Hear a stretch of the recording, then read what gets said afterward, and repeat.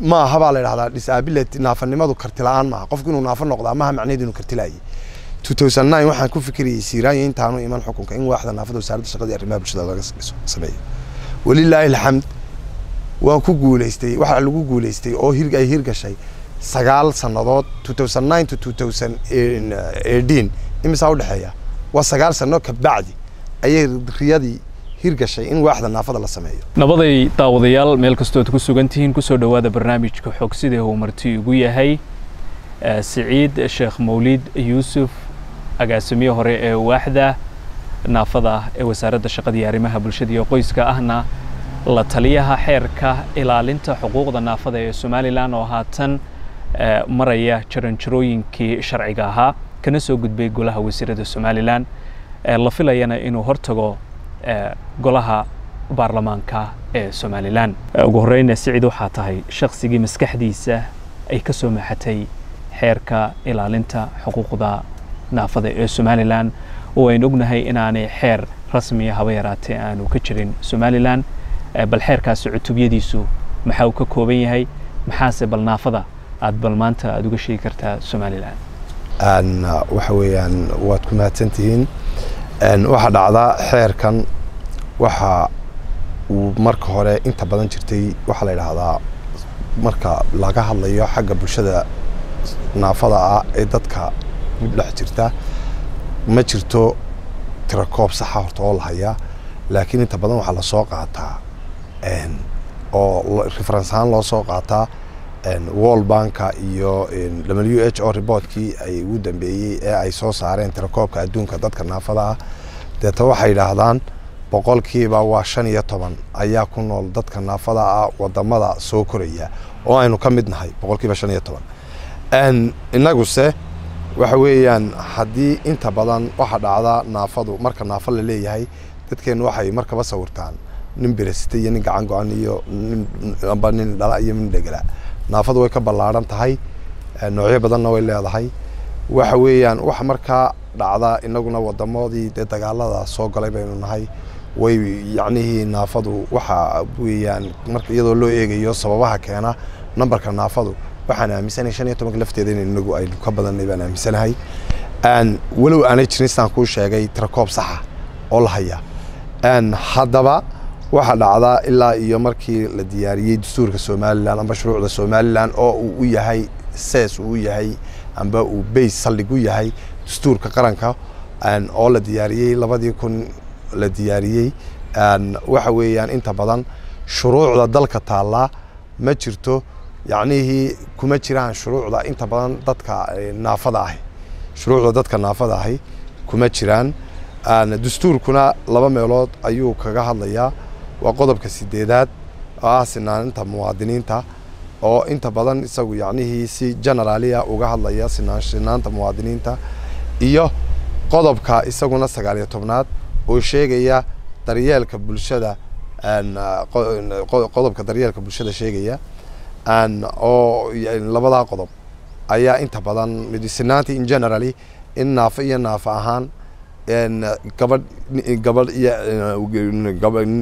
haween iyo rag carruur iyo ciroole in loo siman yahay. Ayuu ka sheekeynaya u sheegayaa. Sheekh iyo sheekh iyo shariif in loo siman yahay sinaanshahoodii madax iyo mijo in loo wada siman yahay sinaanshaha muwaadinka ayuu kaasi sheegayaa. Kan kalena waxa weeyaan daryeelka bulshada dadka baylahsan ayuu sheegayaa.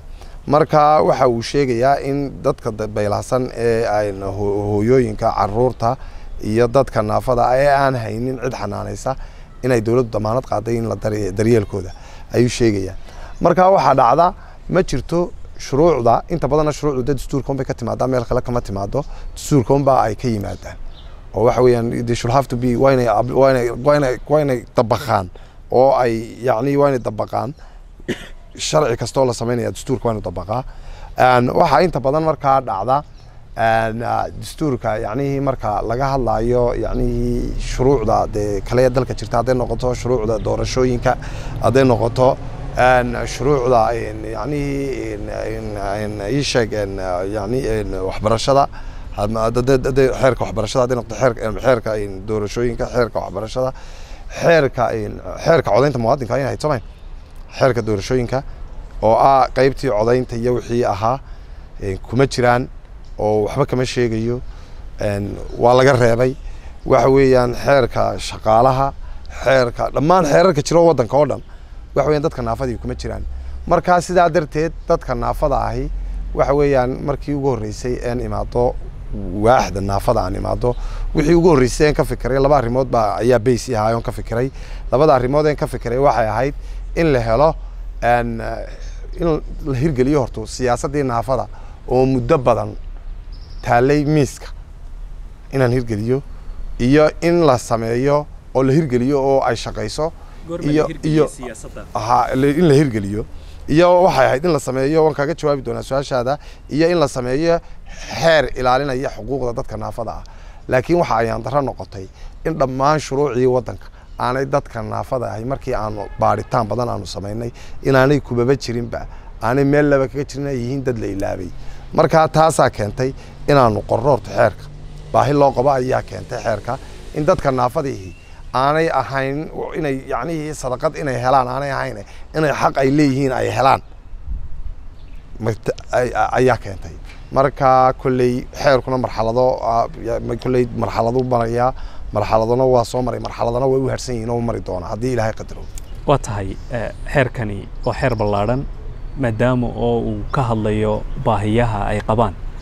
Dadka naafada ee ku sugan somalilan haddii ay ka bilaamayaan carruur haween iyo sidoo kale ragba.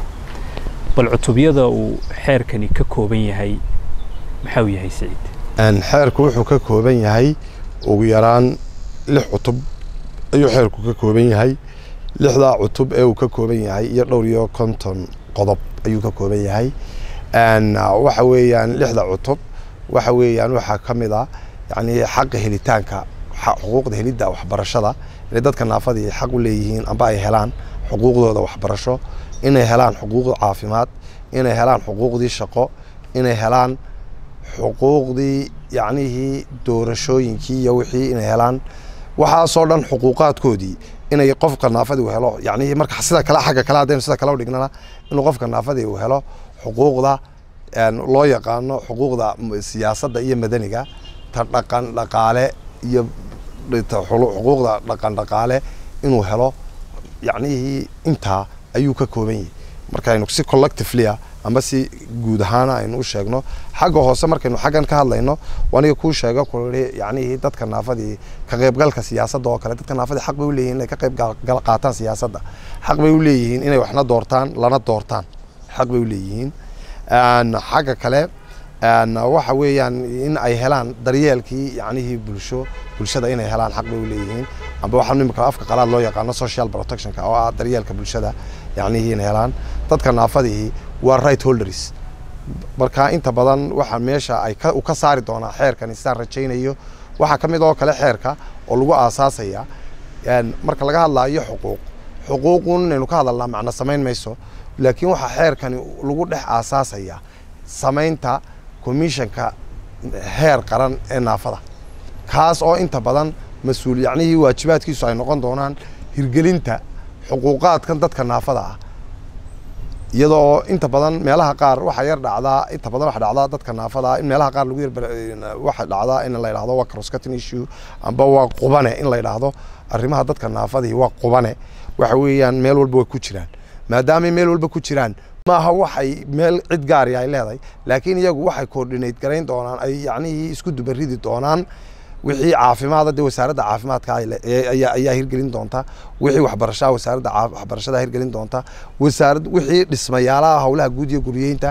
Markaa iyadu waxay noqon doontaa inay in ay isku dubarido commissionku isku dubarido markaa xagga enforcementka amba hirgelinta xeerka hirgelinta xeerka waxaa hirgelin doona yani fulitaankiisa yani waxaa mas'uul ka noqon doona commissionka.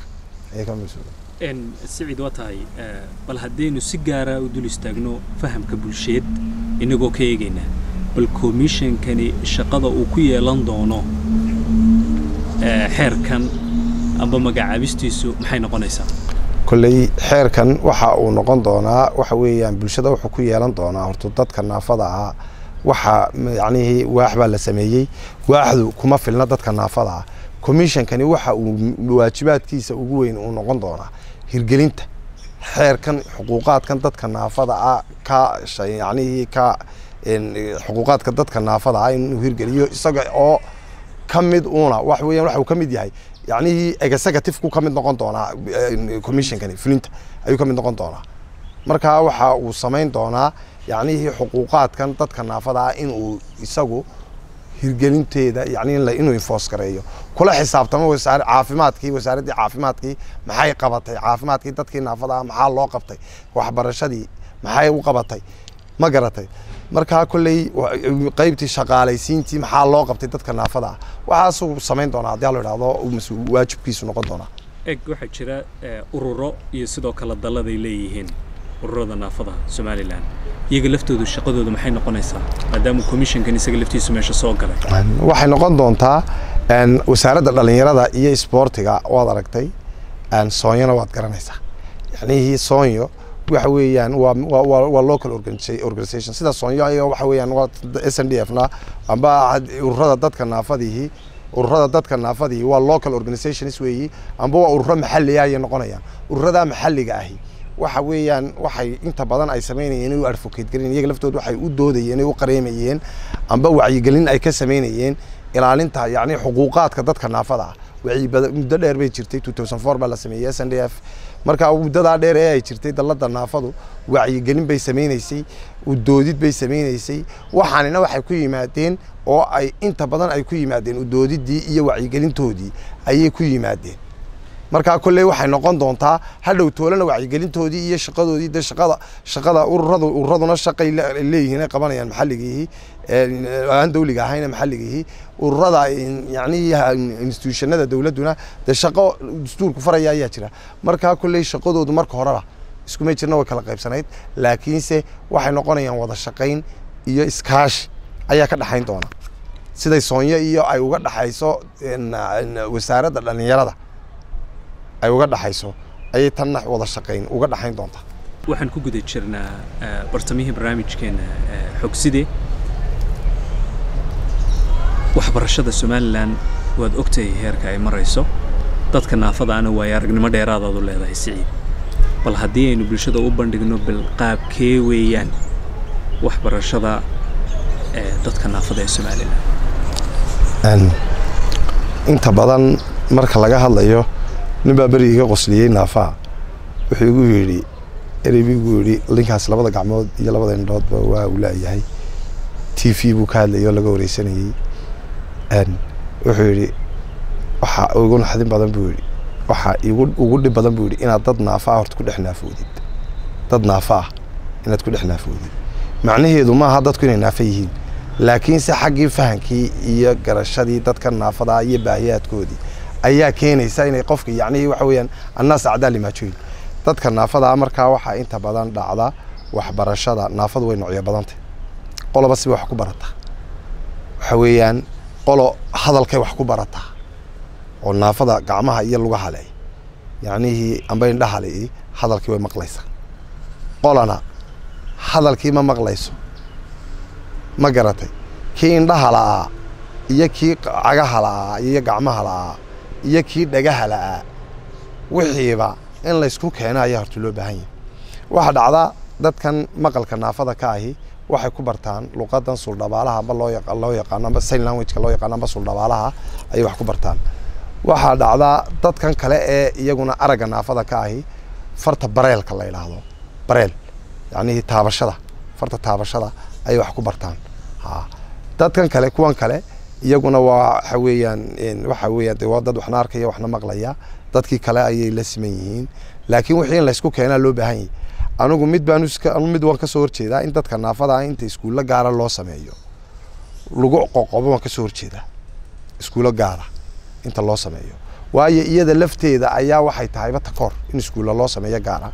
Laakiin muhiimaddu waxay tahay dadka naafada ihi marka dadka la dhexgeliyo iminka matalan oo kale beri dhaweyd madaxweynuhu wuxuu amray in la sameeyo iskuullada iskuul in iskuul kasta laga sameeyo laba kalaas lagu daro oo loogu talagalo dadka naafada. Ah iyada lafteedu waxaa yar fiicnaan lahayd kolley dee way adag tahay kos bay u baahanaysaa in macallin yaqaana dunidu waa laga guuray in cid kale meel kaliya la iskugu keeno. Wax la yidhaahdo ka qayb ka wada qayb qaadasho ayaa imika loo guuray ama inclusionka wax loo yidhaahdo inclusion marka waxay noqonaysaa yani in laga qayb qaato kii indhaha lahaa kii dhagaha lahaa kii caafimaadka qabay iyo kii kaleba meel ay wada yimaadaan.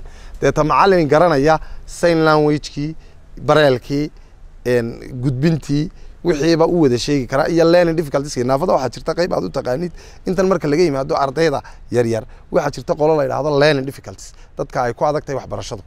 Dadka ay waxbarashadu ku adag tahay. Dadka ay waxbarashadu ku adag tahay waxa weeyaan way jiraan innaga yacni waxyaabaha muhiimka ahi dadkaasi iskuulka marka la qorayo ama galaasyada hoose dadka waa dad gaar oo jira. Waxaa ka mid a gifit and talent. Dad iyagu ka horreeya dadka oo yacni iq-goodu kaba sarreeya dadka ayaa jira. Oo galaaskii markii la qoray galaaskan markiiba waxanba fahmay oo u baahanba isaga in la boodsiiyeba galaaskii la boodsiiyo.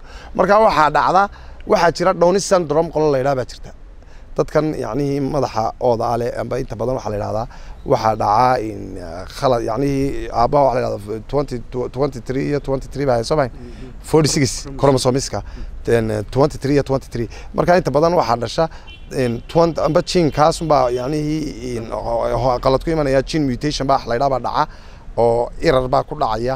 Deeto waxaa imanaya amba wuxuu noqonayaa twenty five amba twenty four amba twenty seven ba hadduu doonaba deeto waxaa dhalanaya dadka maskaxa madaxa ooda leh ayaa dadku aynu naqaano inagu special needska special needska naaf dhan baa special needsa kan indhahali waa special needs wuxuu u baahan yahay. Yacnihii baahi gaar qabaa kan dhagahali baahi gaar qabaa waxa weeyaan qofka yacnihii kan biraha sitaa baahi gaar qabaa marka waxa loo baahan yahay in boolasiyada yacnihii wasaaradda waxbarashada lafteedu la modify gareeyo dib loo eego oo iyada lafteeda dadka naafada ah yacnihii in loo fududeeyo inta badan inay iskuulladii dhigan karaan. Kan dhibiraha sitaa sideedoo kale anigu matalan oo kale waxaan xasuustaa dugsigaygii hoose dhexe axmed gurey maxamuud axmed cali jaamacad birahaasaan sitay. Waan kori karayaa. Haddana sometimes waxaa jira qaar bira sita laftoodu aan iyagu kori karin baa jiray. Oo u baahan iskuullada lafteedii loo sameeyo meelihii ay ka geli karayeen. Marka waxa muhiimaddu ay tahay waxbarashada waddanka kolley koboc baas jira oo socda kobacaas yacnihii maalinba dee waxa weeyaan waxaa jirtay. Maanta waxaynu ka hadlaynaa inay dadka naafada iyo wax noqdaan baa laga hadlaya shalay lagama hadlayn dee. Marka waxa weeyaan isbeddel waxaad dareemaysaa iyada lafteedu in tadawur amba hor u in dadku hor socod ay in hor inuu in horumar jiro. Isu soo wada xoori waxbarashada waxa muhiimaddu ay tahay. In siyaasad in la in siyaasadda in siyaasadda imika matalan oo kale siyaasadda naafadu way sheegaysaa. Xeerka naafaduna wuu sheegayaa siyaasadda naafadu waxay ka hadlaysaa waxbarashada dadka naafada ah. Siciid xeerka ilaalinta xuquuqda naafada ee somalilan muxuu yaqaanaa naafada? Yow ereygaa horto waa ee su'aal aada u adag weeyi. Dadka naafadaa ereyga naafo marka laga hadlayo wis naafo? Yacni in laysla garto yaa naafaa naafa maxay tahy dunidu mar waxaa jirtay markii hore yacnihii luqadaha waxa ay odhan jireen handicaba ay yani la isticmaali jiray waa laga soo wareegay disability baa la marayaa dunidu imika waxa ay u sii socotaa multi ability people wax la yidhahdo ama dadka kartiyaha kala duwan leh. Dunidu ayuu socotaa. Dadka kartiyaha kala duwan leh. Taasi waxay noqotay ereygan yacnihii ereygan inagoo aynu isticmaalaynaa. Waxa weeyaan waxa weeyaan ereyga naafo macnaheedu waxa weeyaan waa qof kasta oo waaya awooddiisii yacnihii yacnihii socod arag maqal ma garatay. Amba ay xadidnaadaan. Ayaa loo yaqaana amba ay amba limitation ku yimaado amba xadidaadid ay ku timaado. Matalan oo kale dadka qaar baa jira qofka habeenada layida waa naafo qofka aragga yacnihii sometimes waxaa laga yaabaa aragga fogba inuu kaa nuusan yahay aragga sog waxaa laga yaabaa iyada lafteedu way soo gelaysaa baahidii gaarkaa bay soo gelaysaa marka ereyga naafo ayuu sharcigu wuxuu isticmaalaa isticmaalayaa ereyga naafo ayuu isticmaalayaa innaga. Maadaama waxaan inagu cusubtay innaga lafteenna waxan inagu cusubtay. Waxaa jira waxyaaba badan ambasiil baa la isticmaali jiray disability baa la isticmaali waxa la isticmaali jiray handicap waa laga gudbay tanaa la isticmaali jiray waa laga determination baa la isticmaalayay waxa multiability people dadkii yani kartiya imka ereyga ugu macquulsan ee ugu suitbalsan waxa weeyaan dadka kartiyaha kala duwan leh. Laakiinse ereygii uu inaga marka loo eego si uuna dheer yahay ereygan wixiina waynu yar cusub inaga lafteenu debanu gaari doona wax laga yaaba inaga lafteenu terminologyga naafo laftiisa. Inay terminology ka wanaagsan mustaqbalka aynu heli doono. Laakiin xeerkani halka naafo ay kaga jirto in dadka baahiyaha gaarka ah qaba loogu yeedho. Aanay ka fiicnan lahayn. ereygaas yacnihii marka laga hadlaayo labadii erey horto baahi qofkii naafo marka uu yahay baahi gaarana waa qabaa laba erey baa inta badan waxaa dhacdaa xagga kale marka luqada afka qalaad aynu ku yar noqono laba mid erey baa la isticmaalaa disability iyo environment. Environment disabilitygii yacnihii qofkii waxa uu keenayaa qofkii in environmentkii baa keenaya disabilitygii hadda soo maad garan inuu qofku lug la-aadaa waa inu waxa weeyaan environment buu qabaa waxa weeyaan lug buu laayay. Marka lugtaa uu laayahay waxay keenaysaa inuu naafo noqday inuu naafo noqdaana waxaa keenaya. Laba mid un baa keenaba naafo dhowr qodob baa keena naafanimada qodobada keena naafanimada waxaa ka mid a. Haddii maanta waxaa keena waxa loo yaqaano social yani aragtida bulshadu ay ka qabto naafada iyo deegaanka iyo institutionka. Saddexdaas ayaa keena horto bulshadu haddii ay aaminsan tahay qofka naafadii inaan iskuolkaba aanu tegin oo kaabada dhaadheer la sameeyo waxa weeyaan qofkii naafada ahaa ma tegi karo iskuolkii deegaankiina waa tanoo kaabad dheer baa la sameeyo kaabadii dheerayd. Haddii loo samayn lahaa deegaanka raamkii loo samayn lahaa bartii kaabaduu ka geli lahaa qofka naafada ahaa naafo mu noqdeen duu geli lahaa iskuolka xagga kalena waxaa la idhahdaa institutionada ayaa keena. Institutionadu waxay u keenaan waxa weeyaan policy makersku haddii yacnihii shuruuc ilaalisa xuquuqdooda dadka naafada ah ay samayn weydo de waxa weyan iyana discrimination baa imanayo dadkii naafadaha exclusion baa ku dhacaya marka waxa weeyaan naafanimada waxa ugu badan ee keenaa waa ugu muhiimsan weliba ugu muhiimsan waa bulshada iyo waxay ka timaadaa deegaanka. Labadaasaa keena oo koosgareeya inuu qofku naafo noqdo wax kastaa mahadhe ayay leeyihiin. Waxaad muddo dheer aada maamulkeeda haysay xafiiska waaxda naafada ee wasaaradda shaqada iyo arrimaha bulshada iyo qoyska somalilan. Arrimihii kuugu la yaabka badnaa ee aan maskaxdaada ka bixin ee mahadhooyinka gaarka ah kugu reebay maxay yihiin bal siciidow waxyaabihii mahadhooyinka gaarkaa igu reebay. Waxa weeye dadka marka laga hadlaayo dadka naafada ahi laba mid ayaa meesha taalla. Dadka naafadihii inta badan waa dad la ilaabay. Waa dad la ilaabay. Waa dad takhalluf badan ku dhacay.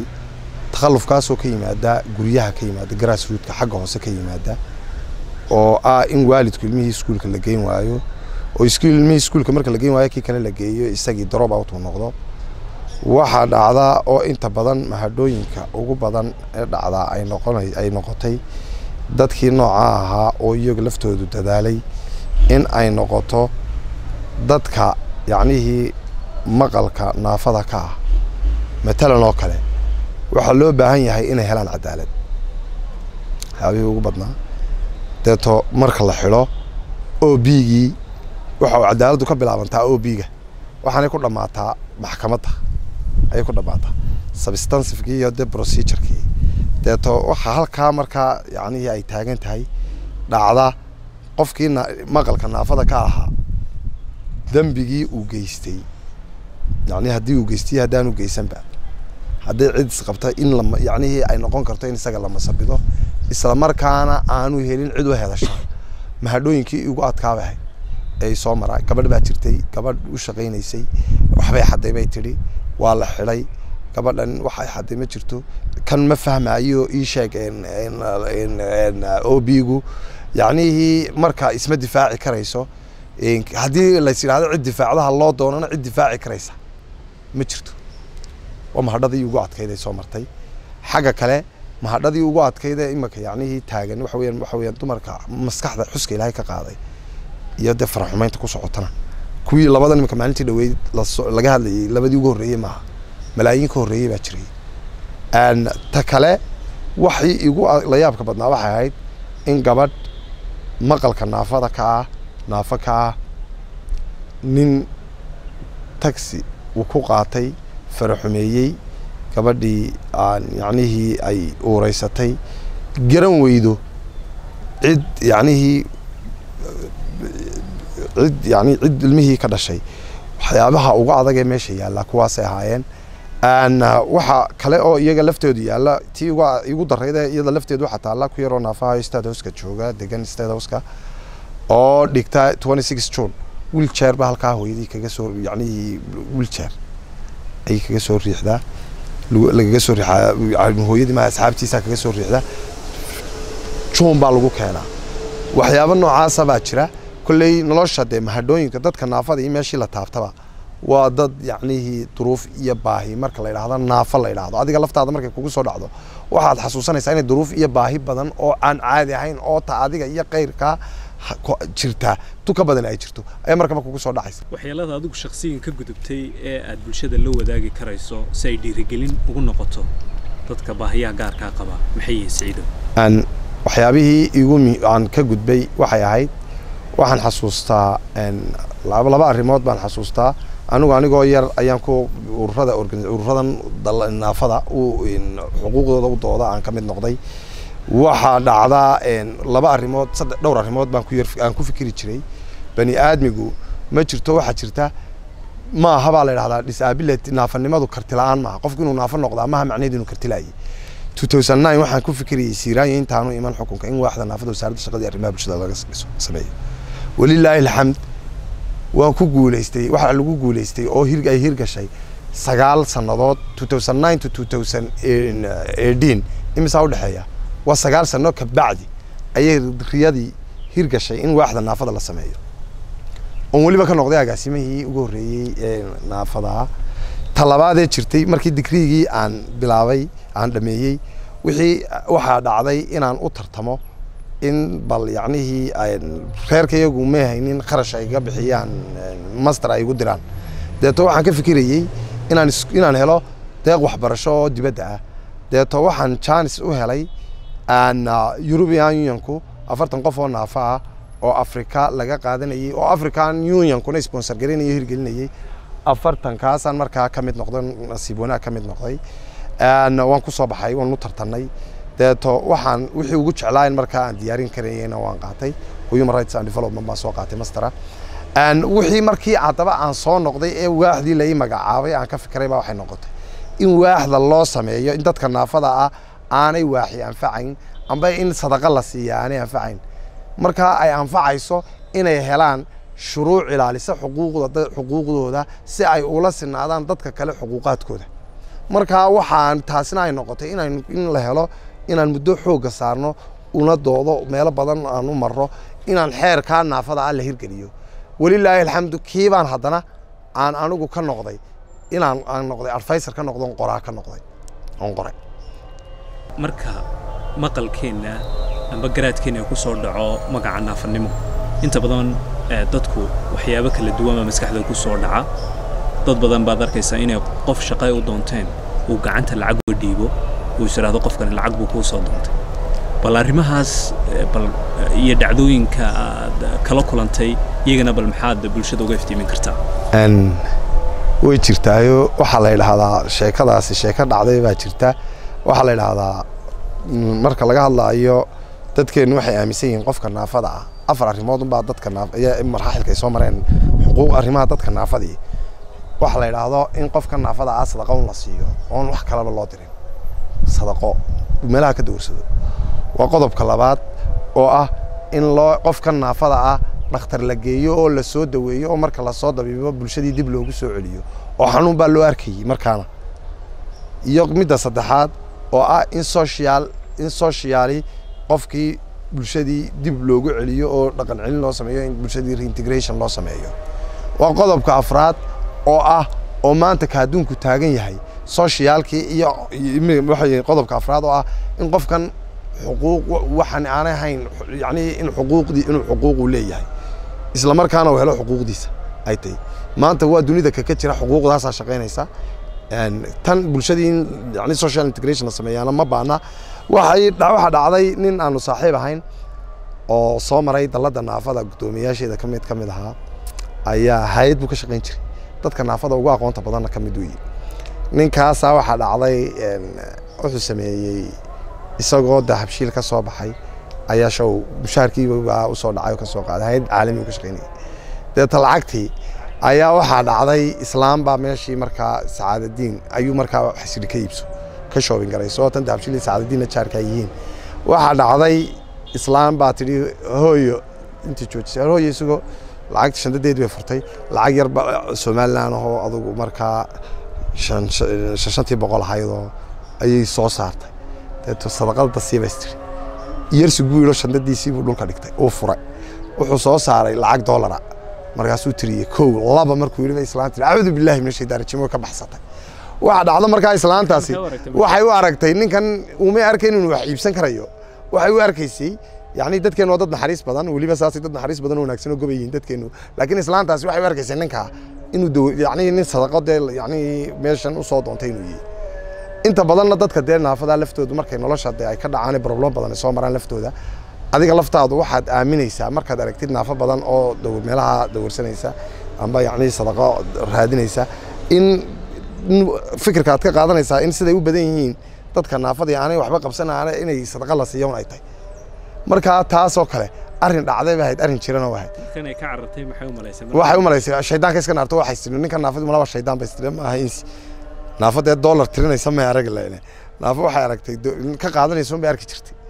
Ya markaa way la yaabto u qaadan weyday acuudu billahi min shaytaan rajim tiri bay ka carartay. Intaynan u imanin fariinta aynu dirayno golayaasha baarlamaanka iyo wasiirada laftooda oo xeerkani. Mari doono jaranjarooyinkooda sharci bal maxaad fariin u diraysaa bulshada naafada ee ku dhaqan somalilan iyaga laftooda waxaan u diri lahaa dadka naafada ahi waxaan odhan lahaa hal erey baan odhan lahaa. Bani aadmiga ma jiro wax bilaash laysku siiyaa ma jiro adduunka. Wax bilaash laysku siiyaa. Ma aha maanta yacni shayga keliya xuquuq bay leeyihiin. Xuquuqdooda si midnimo ah inay u doodaan oo salmiya oo nabadgelyo ah oo qurux badan inay u raadsadaan xuquuqaadkooda oo kole wada jira ayaan u dirayaa talabaadna waxaan u diraya kalena waxaan odhan lahaa waxaan odhan lahaa qof kasta oo naafa ah oo yacnihii da'yar oo wax baranaya. Ninka ka naafada ah ee wax noqday amba kuwa naafada ah ee madaxdiihii in la taageero la motivate gareeyo la dhiirigeliyo loo raadiyo scholarshipo inay helaan. Meel baan ka ilaabay waxaan aad ugu mahadnaqayaa mubaarig aar oo in badan isagu siiyey waxa weeyaan dadka maqalka naafada ka ah scholarshipo. Siiyey aad baan ugu mahadnaqayaa ninkaasoo kale yacni jaamacadaha laftooda waxaan odhan lahaa waa inay ku daydaan iyaga laftoodu ay siiyaan dadkan fursado waxbarasho ay siiyaan iyo iskuulladuba gabagabadii barnaamijkeena ayaynu aynu joognaa xeerkii naafada somalilan isla u doodaya xuquuqaha kala duwan ay leeyihiin waxau haatan maraya jaranjarooyinka kala duwan ee xukuumadda. Iyo kadibna wuxuu sii gudbi doonaa baarlamaanka somalilan oo labada aqala. Bal iyaga laftooda maxaad fariin u diraysaa waxaynu waxa weeyaan kolley iminka golaha wasiirada xeerkii ayuu hor yaalay waxaan filayaa inuu ka soo dhammaaday. Markaa kolley waxaa shaqo badan baa u taallo oo bal wixii iyaguna wax ka bedel iyo kaabis ayaa kolley iyagana la samayn doonaa. Shirar baa la qaban doonaa haddii ilaahay qadaro tallaabada markaa xigtaa waxay noqon doontaa in procedurkii la dhammaystiro oo xaggii yacnihii golihii ii sheeg sharci dejinta uu maro. Waxaan markaa rajaynayaa in golaha sharci dejintu xeerkani fursad buu leeyahay. Xeerkani siyaasadna shaqo kuma laha siyaasad wax siyaasad yacnihii ka hor imanaya maaha wax dhaqankii ka hor imanayana maaha. Labadaa mid haddii aanu ka hor imanayn waxa uu haystaa janis buu haystaa. Marka waxaan odhan lahaa naafanimaduna waa qof kasta oo yacnihii qof kasta oo maanta ordayay qof kasta oo naafa ahi waa wax loo sameeyey horto naafanimadu. Ninna waxa weeyaan waa waa waa damaanad ninna kama haysto inuu naafo noqonayo. Marka waxaan odhan lahaa kolley iyaga laftoodu inay xeerkaa bal. Haddii ilaahay qadaro ay marka uu gaadho in ay ansixiyaan oo ay sida ugu dhaqsaha badan le xeerkaa ay u hirgeliyaan oo ansixiyaan ayaan ka rajaynayaa. Si uu xeer u noqdo ayaan ka rajaynaya marka iyaga waxaan u dirayaa baaqaasaan u dirayaa. Waxa weeye waxaa laga yaabaa maanta qaar badan kolley naafadu ma laha dad yacni in kastoo berigii hore dumarku way lahaan jireen naafada iyo dumarku ma laha. Saddex baa isku meel ahaayo naafada iyo dumarka iyo minoritigu ilmaadeer bay ahaayeen. Marka kolley waxaan rajaynayaa berigii hore minoritiga maanta de minoritiga ayaa malaha waxaan filayaa iyada lafteedu matelaya oo waxa weeyaan ma- barkhad iyo- iyo qaar badan iyo rag badan oo la mateli karaa. Maanta waa jiraan. Marka waxaan odhan lahaa bal haddii allahu idhaahdo si guud goluhu waxaanu ka codsanaynaa xeerkaasi. Marka insha allah biidnillahi kariim uu soo gaadho inay xeerka ay ansixiyaan. Waxa weeyaan waa wax loo baahnaa waa wax in badan ay dadka naafadii ay la in, daalaadhacayeen wax ilaaliya ma jirin xuquuqdooda iyo shuruuc ya- yacni xuquuqda ay leeyihiin. Marka waxaan rajaynaynaa in ay bal insha allah biidnillahi kariim dhaqsooy hor iman doonaaye. Markuu hor yimaado inay ansixiyaan. Daawadayaal intaasi waxaan ku soo gebagabeynaynaa barnaamijka xogsida uu martiigu ahaa siciid sheekh mawliid yuusuf oo hore u soo noqday agaasimaha waaxda naafada ee wasaaradda shaqada iyo arrimaha bulshada iyo qoyska somalilan ahna la taliyaha xeerka xuquuqda naafada ee somalilan oo haatan ku guda jira jaranjarooyinkii sharci ee xeerkaasi ku ansixi lahaa amba wax ka bedel iyo kaabis ay ugu sameyn lahaayeen golaha wasiirada iyo sidoo kale labada gole baarlamaan. Waanu kaaga mahad celinaynaa siciid aad baad u mahadsan tahay sidoo kale barnaamijka duubistiisa waxaa igala qayb qaatay cabdiraxmaan gaaciro dhinaca farsamadana waa cabdirasaaq dhammaantiin iyo dhammaantay anigoo xamsaan waxaad leeyahay sidaa iyo ammaano allah